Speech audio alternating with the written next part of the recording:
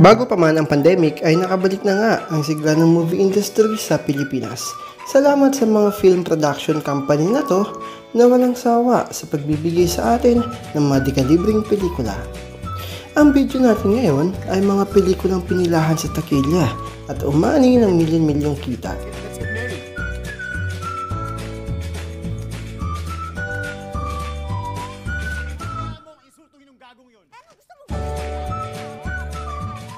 Simulan natin ang paglilista ng top 10 high-grossing Pinoy film of all time.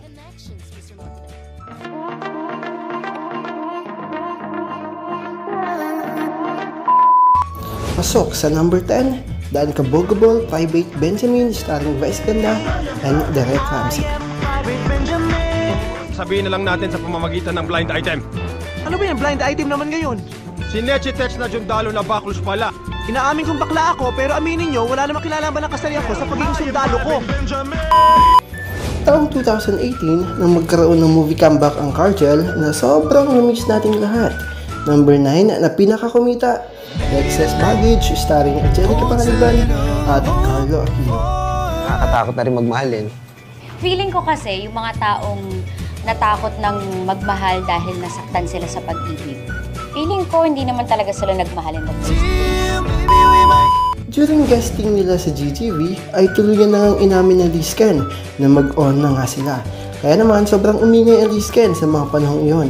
Nakasagsagan pa man din ng promotion ng kanilang movie. Top 8 grossing film ang Alone Together kina Enrique Hill at Liza Soberano. Kalimutan mo na ako, please. Huwag naman, hindi, hindi pwede. Mahal kita, pero tama na. Tin, huwag mo ko iwan. Marami naman ang naging excited na magkaroon ng pangatlong kwento ang buhay ni Nalaida Magtalas version 2.0 at Miggy Montenegro. Kaya pasok sa number 7, ang It Takes a Man and a Woman starring John Lloyd Cruz at Sarah Heronmo. Tama din.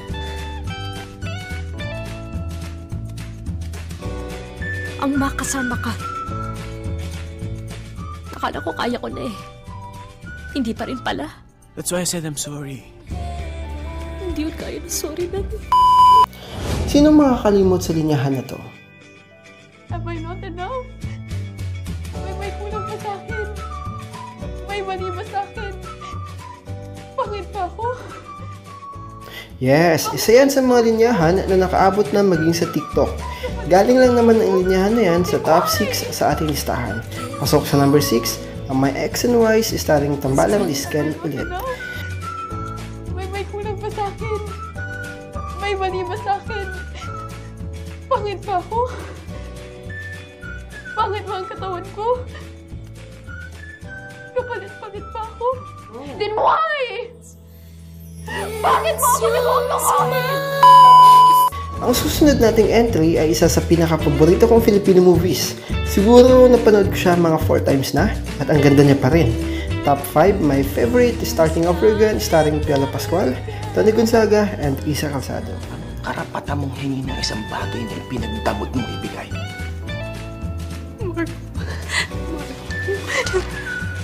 I deserved an explanation. I deserved an acceptable reason. O bakit na? Si Popoy at Basha na siguro ang pinakasikat na movie character dito sa Pilipinas. Kaya naman, nung muli silang nagbabalik sa big screen ay talagang pinilahan sila at pinaghandaan ng matindi. Pasok sa ating listahan para sa top 4 ang A Second Chance sequel ng One More Chance starring John Lloyd Cruz at Bea Alonso. But you can't trust me. Asawa mo ako baka nakakalimutan mo na. Cause I will be Kontrobersya ang showing date ng movie na ito ni Vice Ganda at Coco Martin dahil originally ay kasama dapat ito sa MMFF ng taong iyon. Pero dahil nabago ng pamunuan ang rules ng mga entries ay napaaga ito ipinilabas sa mga sinihan. Pero pasok pa rin sa listahan natin at number 3 pa nga ang The Super Parental Guidelines. Katniel is one of the most successful and influential love team of this generation. Katniel yan eh. Katniel lang sa kanam. Kaya every project ng Katniel ay talagang inaabangan ng kanilang mga fans. Yung huli nilang movie ay kumita lang naman ng 800 million pesos. Kaya sila ang top 2 sa ating listahan. Alam mo na nasabi ko lang yun kasi pagod ako. Pero mahal kita. Ito, mahal din naman kita eh. Mahal pa rin kita, Joe. Pero isang beses lang ako napagod. Iniwan mo na ako. Yun ba yung pagmamahal mo, Primo? Eto na, ang top 1 na pinakatiba-tibang pelikula sa lahat ng pelikula. Well-deserved naman tong movie na to dahil umani na rin ito ng mga recognitions sa iba't ibang award-giving bodies.